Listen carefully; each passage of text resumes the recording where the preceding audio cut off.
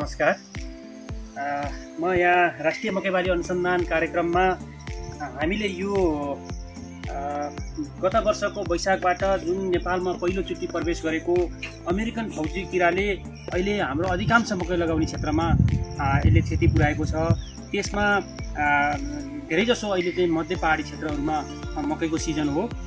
र यहाँ यो अमेरिकन फौजी किरालाई एउटा कुनै एउटा तरिकाले मात्रै व्यवस्थापन गर्न कठिनाइ हुने कारणले गर्दा हामीले यसका चाहिँ विविध चाहिँ विभिन्न तरिकाहरूको चाहिँ आइपिएम विधि चाहिँ हामीले चाहिँ विकास गर्न गइरहेका छौँ। आज यहाँहरूलाई हाम्रो यो हाम्रै गाउँघरमा रहेका जडीबुटीबाट हाम्रै गाउँघरमा रहेका वनस्पतिहरूबाट कसरी चाहिँ रसादी बनाउन सकिन्छ कसरी त्यो चाहिँ किरा व्यवस्थापन गर्ने विषादीहरू बनाउन सकिन्छ भन्ने बारेमा छोटो जानकारीको लागि मैले यहाँ उपस्थित भएको छु।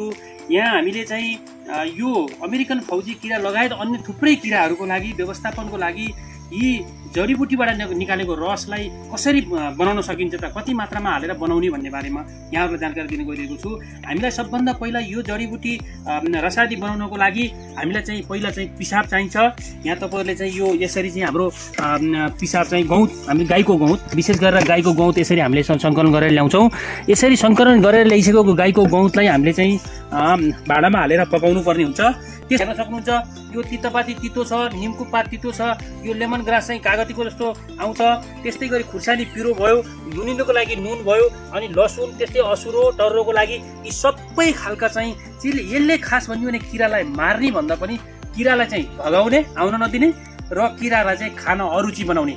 खाना अरुचि बनाएर किरा चाहिँ नखाइकन त्यो चाहिँ त्यहाँ मर्ने भएको कारणले गर्दा यी रसादीहरूले मानव स्वास्थ्यदेखि लिएर पर्यावरणलाई पनि राम्रो गर्ने हाम्रा चाहिँ मित्रजीवहरूलाई तमाम किसिमका चाहिँ हामीसँग रहेका मित्रजीवहरूलाई पनि सुरक्षित संरक्षित गर्ने भएको कारणले गर्दा यस्तो चाहिँ घरेलु तरिकाबाट पनि हामीले चाहिँ यो अमेरिकन फौजी किराहरू यो फौजी किरा लगायत अरू थुप्रै किराहरूलाई व्यवस्थापन गर्न सकिने कुरा मैले यहाँ जुन देखाइएको थियो है विभिन्न किसिमका चाहिँ वनस्पतिहरू ती वनस्पतिहरूलाई त्यसरी ओखलीमा राखेर अलिकति चाहिँ थिचेपछि त्यसबाट अलिकति रस निकाल्न सजिलो हुने भएको कारणले गर्दा हामी त्यो गर्दैछौँ।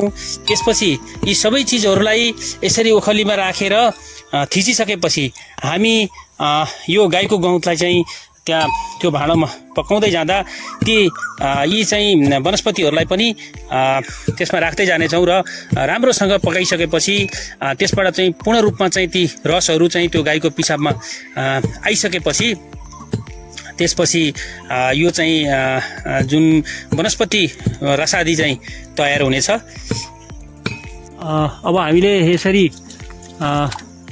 गाईको पिसाब त्यसमा उम्लिसकेपछि हामीले अब ऐ थिचेका सम्पूर्ण वनस्पति विषादीहरू त्यसरी भाँडामा हामी राख्दै जान्छौँ।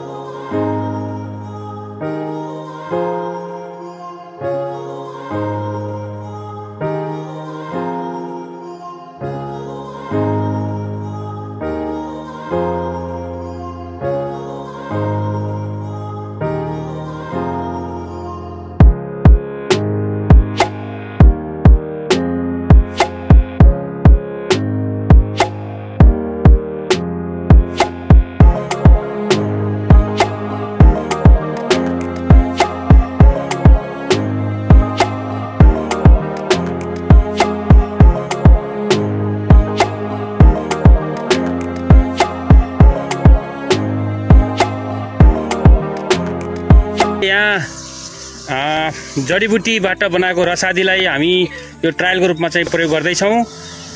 यहाँ हामीले त्यो जडीबुटीलाई तिनवटा चारवटा रेसियोमा हामीले चाहिँ यहाँ यो चाहिँ प्रयोग गर्दैछौँ। जुन बनाएको जडीबुटी छ त्यो जडीबुटीलाई एक भाग एक भाँडो जडीबुटीमा यसमा तिन भाँडो पानी हालेर हेरेका छौँ। एउटा एउटामा चाहिँ हामीले एक भाँडो त्यो जडीबुटी रसमा पाँच भाँडो पानी हालेर हेरेका छौँ। त्यस्तै गरी अर्कोमा एक भाँडो जडीबुटीमा हामीले सात भाँडो पानी हालेर हेरेका छौँ भने त्यस्तै गरी अर्कोमा एक भाँडो जडीबुटीमा नौ भाँडो पानी हालेर यसरी एक एक र एक र नौको अनुपातमा हामीले चाहिँ यसरी चारवटा त्यसरी गर्दैछौँ। हामीले यहाँ जुन तिन दिन अगाडि हामीले यहाँ वनस्पतिबाट बनाएको रसादीहरूलाई विभिन्न अनुपातमा यहाँ स्प्रे गरेका थियौँ। यो अमेरिकन फौजी किराको व्यवस्थापनको लागि एकदमै प्रभाव बढी चाहिँ क्षति भएको चाहिँ प्लटमा हामीले चाहिँ यो चाहिँ कस्तो किसिमको प्रभाव छ भनेर हामीले हेरेका थियौँ। यसमा चाहिँ हामीले एक भा एक एक र तिनको अनुपात र एक र पाँचको अनुपातमा असाध्यै राम्रो चाहिँ नतिजा आएको पायौँ। यहाँहरूले देख्न सक्नुहुन्छ यसरी हालेको चाहिँ हाम्रो बोटमा प्रत्येक बोटमा चाहिँ किराहरू यसरी लार्भाहरू मरेको हामीले देख्न सक्छौँ। तपाईँले यहाँ हेर्न सक्नुहुन्छ यो लार्भा यसरी यहाँ मरिरहेको छ यहाँ मरिरहेको छ। त्यस्तै गरी प्रत्येक बोटमा हामीले हेर्न सक्छौँ यो बोटमा हामीले चाहिँ अब हेर्न सक्छौँ यहाँ पनि यसरी लार्भाहरू मरिरहेको छ यसरी यहाँ मरेको छ। त्यस्तै गरी तपाईँले यहाँ हेर्न सक्नुहुन्छ यहाँ पनि लार्भाहरू यसरी मरेको छ र नयाँ दिशा पनि देखिएको छैन। त्यसले गर्दा हामीलाई के थाहा हुन्छ भने यसरी मरिरहेको छ लार्भाहरू मरिरहेको छ।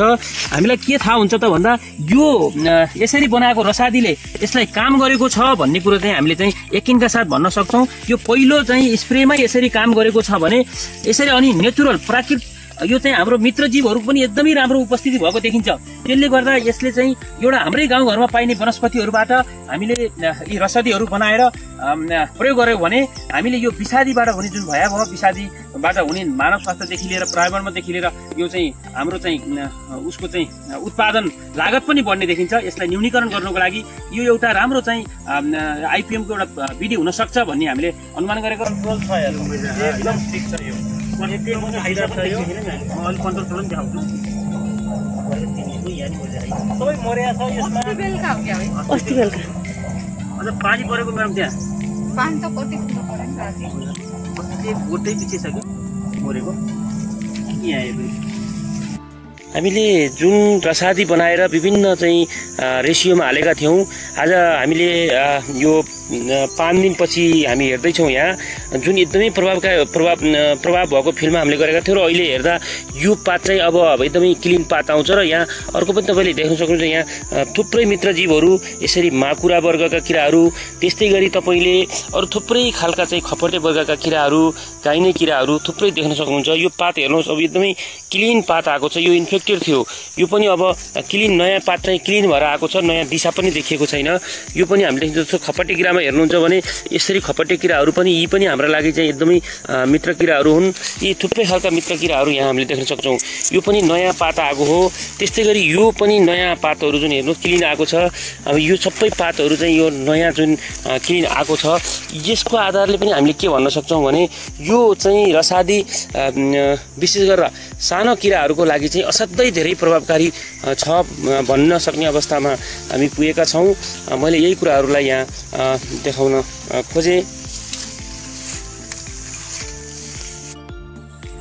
यहाँ हामीले जुन रसादी बनाएर प्रयोग गरेका थियौँ एक भाग चाहिँ रसादीमा पाँच भाग पानी हालेर हेरेको यो प्लट हो। यसमा दुईचोटि हामीले स्प्रे गऱ्यौँ दुईचोटि स्प्रे गर्दाखेरि यो अवस्थामा हामीले देख्न सक्छौँ एकदमै क्लिन छ।